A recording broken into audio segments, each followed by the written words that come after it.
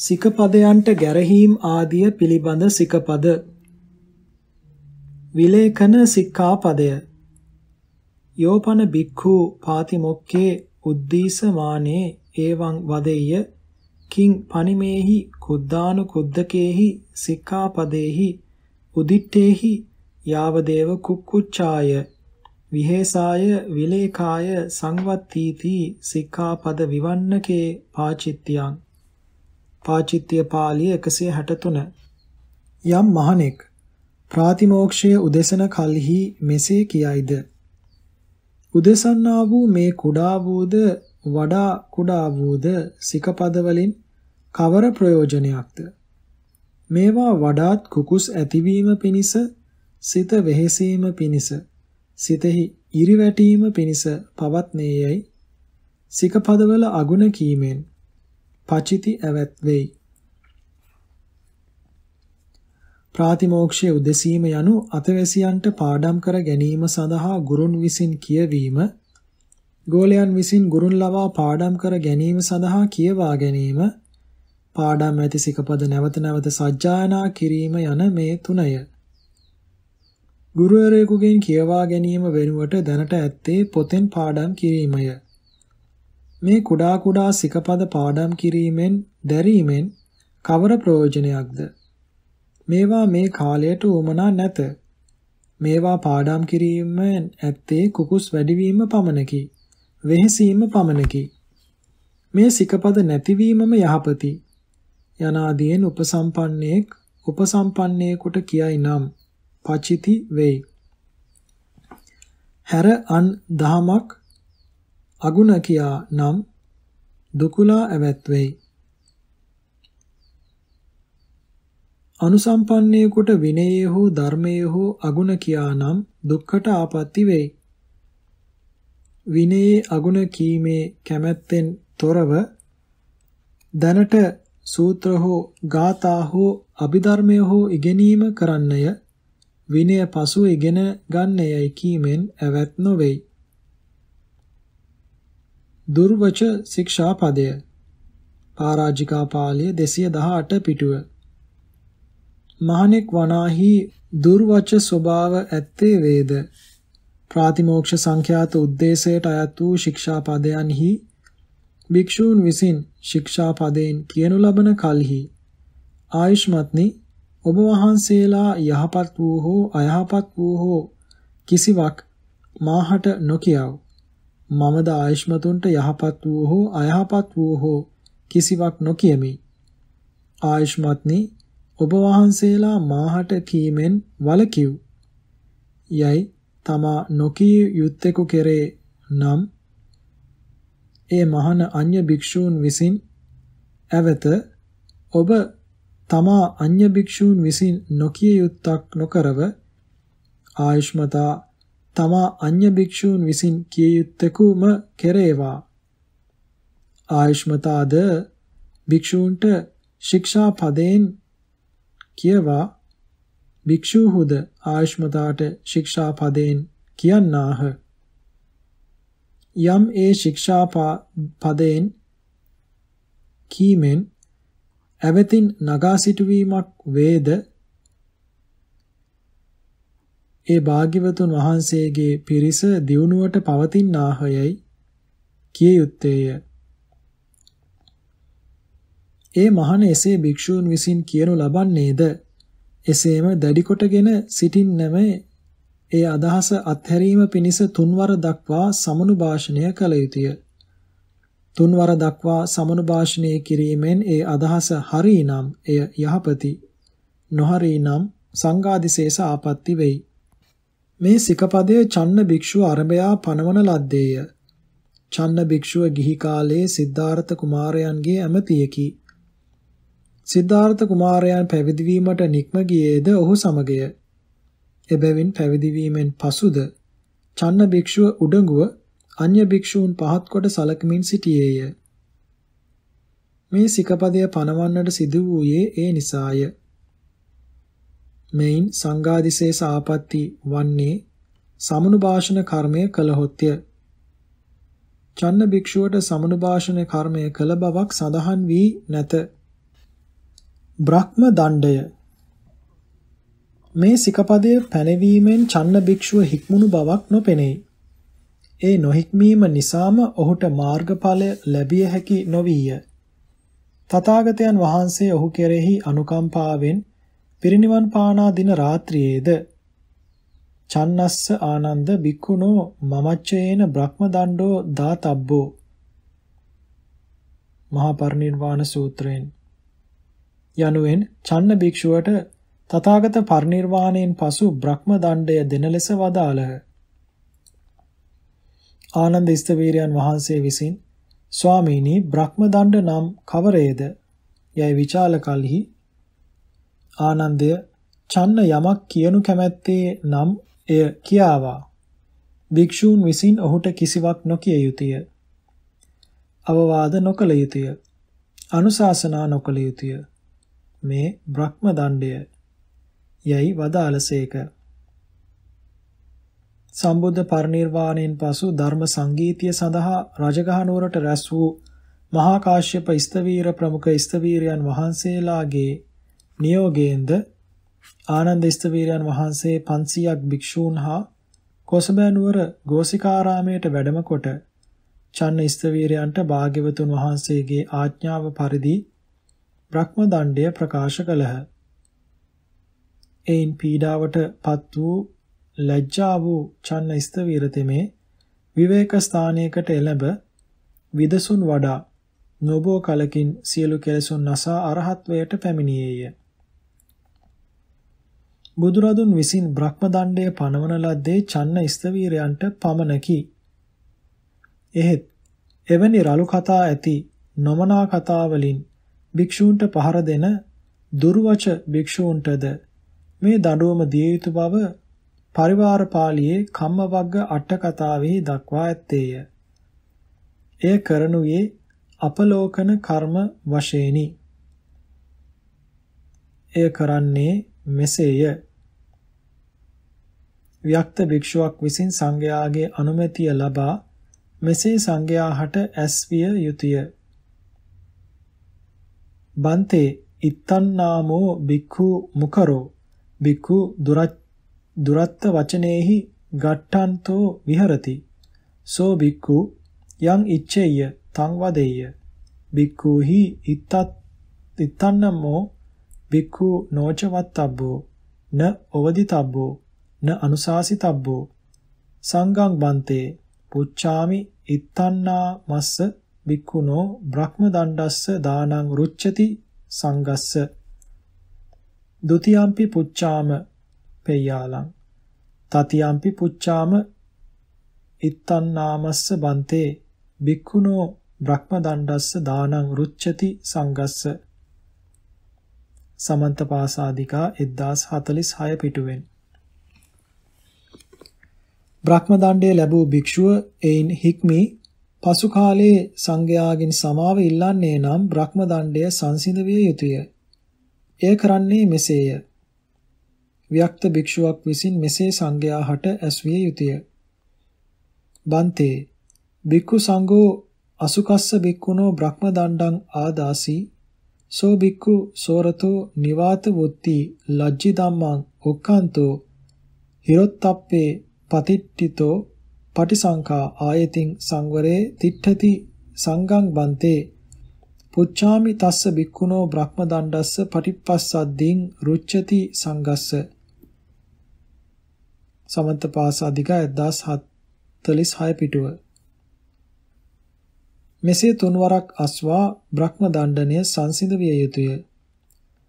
ශාසනයෙහි ඇති දඬුවම් අතුරෙන් මේ බ්‍රහ්ම දණ්ඩය බරපතලම දඬුවමය. චන්න භික්ෂුවට දඬුවම් වශයෙන් කරන උක්කේපනීය කර්මය කලින් දෙවරක් කර ඇත. ඒවාට ඔහු බිය නොවිය. ආනන්ද ස්තවීරයන් වහන්සේ බ්‍රහ්ම දණ්ඩය ප්‍රකාශනය කළ කලෙහි චන්න භික්ෂුව බිය වී මූර්ඡා වී වැටුනේය. බ්‍රහ්ම දණ්ඩනයේ ලත් භික්ෂුව හා සෙසු භික්ෂූන්ට කතා කිරීමට පවා අවසරයක් නැත. එබැවින් බ්‍රහ්ම දණ්ඩය ලත් භික්ෂුව සම්පූර්ණයෙන් තනි වෙයි. සුරාපාන ශික්ෂාපදය. සුරා මේරය පානේ පාචිත්‍යං. පාචිත්‍ය පාළිය 127 පිටුව. රහමෙර පානේන් පචිති වෙයි. පිට්ට සුරාය පූව සුරාය ඕදන සාරය කින්න පක්කිත්ත සුරාය සම්බාර සංයුක්ත සුරාය. යයි සුරා පස් වර්ගයකි ධාන්‍ය පිටි බඳුනේහිලා පමණට ජලයේ යොදා මැඩ සාධන සුරාව පිට්ට සුරා නමි. පිටියෙන් තනූ පාන් ආප්ප පිට්ටු ආදී කෑම වර්ග බඳුනේහි ලා පමණට ජලය බහ මැඩ සාධන සුරාව පූව සුරා නමි. බද්දියෙහිලා සාධන සුරාව ඕදන සුරාව නමි. කින්න පක්කිත්ත සුරා යනු සුරා බීජයන් බහ කරන සුරාවයයිද ධාන්‍යයන්ගේ අංකුරයන් ජලයේහිලා කරන සුරාවයයිද කියනු ලැබේ. නෙල්ලි අබ ආදී ද්‍රව්‍යයන් දියෙහිලා කරන සුරාව සම්බාර සංයුක්ත සුරා නම් වේ. මේ සුරා පස් වර්ගයක් විනය පාළියේහි දක්වා ඇත. පුප්පාසවය, පලාසවය, මද්දවාසවය, ගුලාසවය සම්බාර සංයුක්තයයි මේරය වර්ගද පහකි. පල් කරන ලද තල් පොල් ආදී මල්වල රසය පුප්පාසව නමි. පල් කරන ලද වැල වරකා ආදී පළවල රසය පලාසව නමි. පල් කල මිදි රසය මද්ද වාසව නමි. මී පැණියෙන් කරන ලද පානයද මද්ද වාසවයයි කියනු ලැබේ. උක් පැණියෙන් කරන පානය ගුලාසව නමි.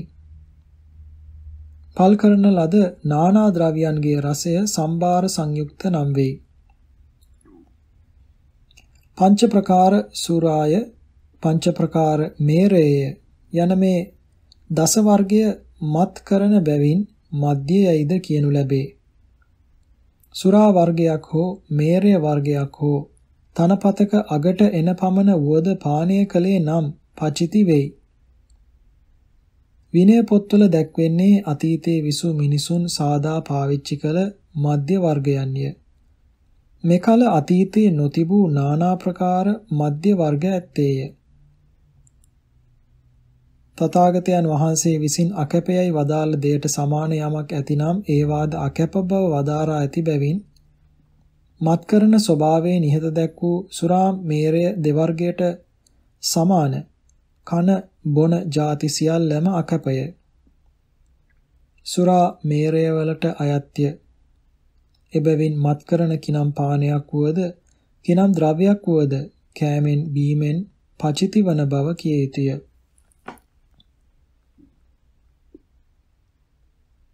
සුරං වා මේරයන් වා බීජතෝ ප ဋ ාය කුසග්ගේන පිවතෝපි පාචිත්‍යං සමන්ත පාසාදිකා 635 පිටුව යනුවෙන් විනය අටුවාවෙහි සුරාව හෝ මේරය බීජේහි පටන්ම පානය කරන්නාහට පචිති ඇවැත් වේ යයි දක්වා ඇත. බීජ තෝ පට්ඨාය යන සාරත්ත දීපනී ටීකාවේ තේරුම් කරන්නේ සම්භාරයේ පටියා දෙත්වා වාටියං පක්කිත්ත කාලතෝ තාලනාලි කේරාදීනං පුප්පරස්ස ගහිත අභිනව කාලතෝ යේව පට්ඨාය කියාය. එහි විස්තර කරන හැටියට පොල් කිතුල් තෙල් දියද අකැපය. විමති විනෝදිනී ටීකාවේ එය විස්තර කරන්නේ බීජතෝ පට්ඨායති යථා වුත්තානි පිට්ඨාදීනං මජ්ජත්තාය වාජනේ පක්කිත්ත කාලතෝ පට්ඨාය. කියාය. ගත් හැටියේ තෙල් දිය අකැප බවක් නොකියනු ලැබේ. විමති විනෝදිනී මතයේ හැටියට තෙල් දිය අකැප බවක් කිය යුත්තේ ගසින්ගත් තෙල් දිය පැසවා මධ්‍යභාවයට පැමිණවීම සඳහා රා පැසවන භාජනයට දැමූ තැන් පටන්ය. තෙලි දිය මේරයටද බීජය වෙයි. පැණි හකුරු වලටද බීජය වෙයි.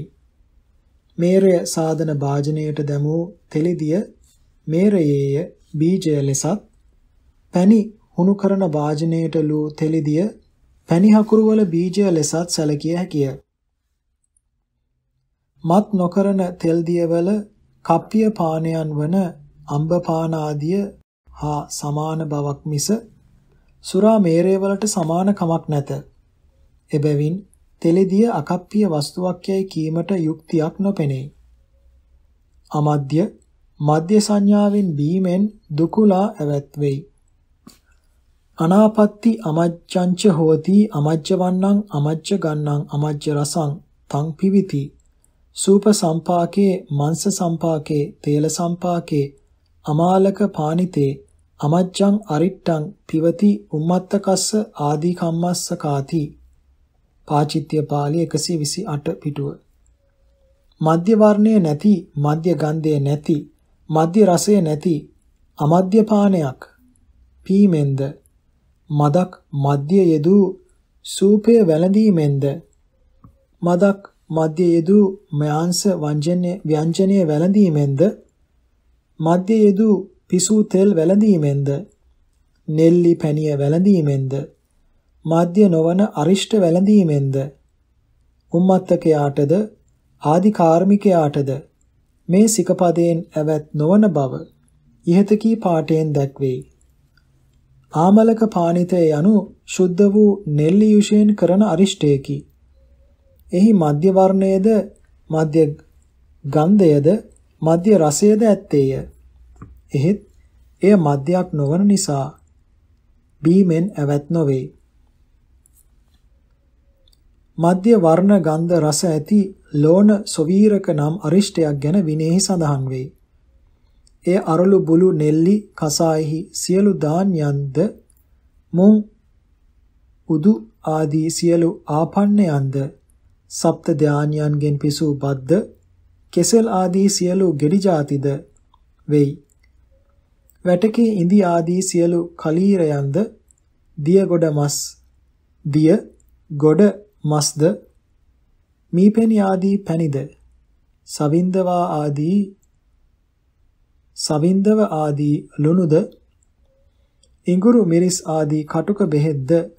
ලා හැලියේ මුව මැටි බැඳ වර්ෂ දෙක තුනක් පැසෙන්නට තබා සාධන බෙහෙතක් යයිද? වාත කුෂ්ඨ පාණ්ඩු බගන්දරා ආදී රෝගවලට බෙහෙතක් යයිද? ආහාර පැසවීමට එතරම් හොඳ බෙහෙතක් නැත යයිද සමන්ත පාසාදිකාවේ කියා ඇත්තේය. උදරයේහි වාතාබාධයක් පැවිදි භික්ෂුවක් ලෝණ සෝවිරකය පානය කොට රෝගය සුව කරගත්තේය.